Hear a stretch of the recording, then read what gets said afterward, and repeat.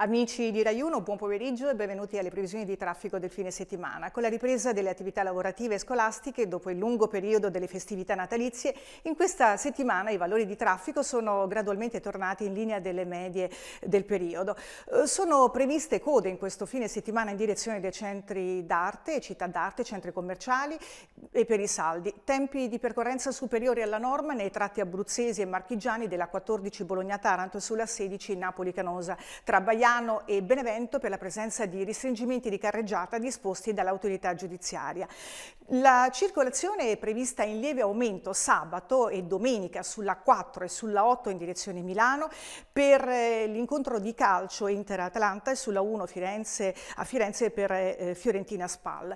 Tra domani e domenica il Modena Fiera ospita tre eventi che abbracciano diversi interessi dall'elettronica al fumetto al modellismo, Expo Elettronica, Cosmo Comics e Model, Model e con code possibili sulla 1 a Moda Nord per quanti sono diretti verso l'area espositiva.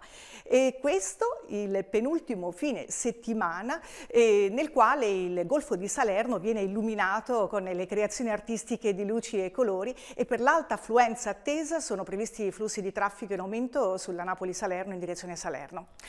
E prima di concludere vi ricordo che domenica per facilitare gli spostamenti eh, sarà in vigore il divieto di circolazione dei mezzi pesanti dalle 9 alle 22 per, eh, appunto, per i mezzi pesanti. Mi fermo qui, grazie per l'attenzione da Alessandra Canali di Rai Pubblica Utilità, guidate con prudenza, fate buon viaggio e a voi tutti un piacevole fine settimana. Arrivederci.